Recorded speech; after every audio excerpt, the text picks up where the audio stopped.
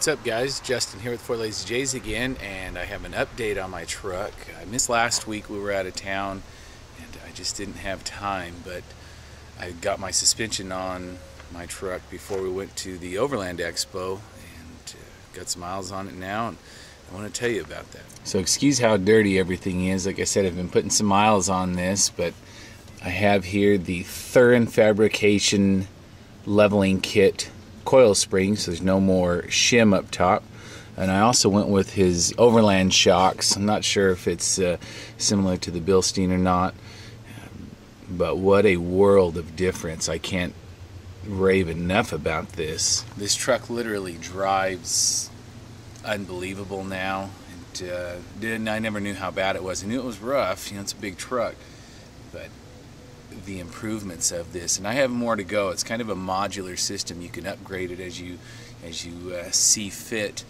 I have his torsion sway bar that I'm going to put on soon I'll give an update on that as well. Uh, one other little thing that I did was put the Fox steering stabilizer on there. You can see back there Fox steering stabilizer along with the Thuren track bar to realign the front end.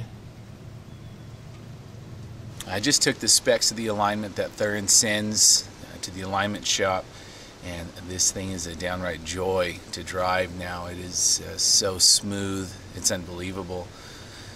I didn't go with the Kings yet. I may down the road. But uh, for now, I, I fell in love again with this truck after everything that I've done. It's probably my most favorite upgrade so far. I haven't done the back yet. I'm still unsure of what I want to go with because I still need to tow with this thing. I may put his coil spring on, although you, you do lose some capacity from what I understand.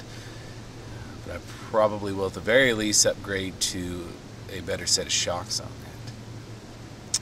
I installed this myself with uh, a big jack and some big jack stands. Just jacked it up and let the shocks and track bar and everything loose and the front end just laid right down on the ground.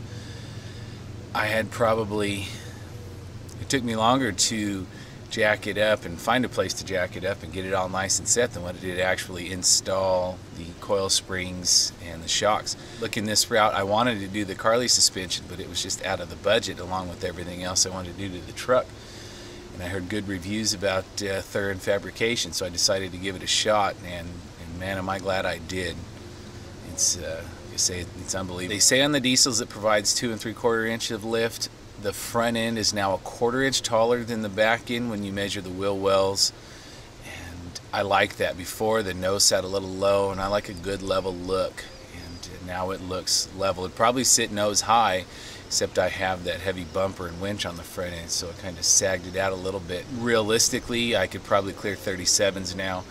I may go to 37s down the road. I've shown so much love for my Patriot tires, but they don't make it in the size of wheels that I have, and I don't know that I want to buy another set of wheels. Anyways, here's a, a time lapse of me installing this. It was fun. Nothing really fought me. It was uh, a fun little task to do, and the handling and performance out of it are just far superior to what it came from from the factory.